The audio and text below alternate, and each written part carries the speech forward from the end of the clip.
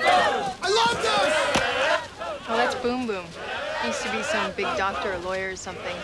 But today he officially cut away. Since I cut away, I've always been ready to do whatever it takes. Cut away. Yeah, it's when you sell your house, quit your job, and move out here under the drop zone. I'm cutting away. You made a commitment to this thing, just like all of us. And if you can cut away from that so easily, well, then maybe you'd cut away from me, too. Give up everything, just like that. It's not about giving up anything. It's about cutting away all the bullshit in your life. Like cutting away. Like when your main parachute fails, you've got to cut it away so you can floor your reserve and save yourself. How'd you do it? By cutting everything else away.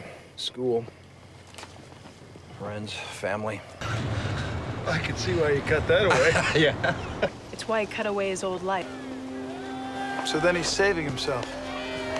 Yeah. So you ready to jump? Me?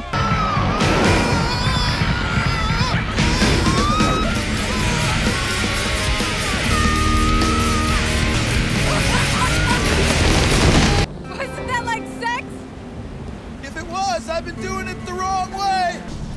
So what is it, like a Zen thing? I don't know shit about Zen, but I know it's not about all the little tricks you learn. It's about how many other things you can cut away. Turbo's dead, but he died that day because he jumped for all the wrong reasons. He didn't cut it all away. I won't be needing it. Red line! Red line!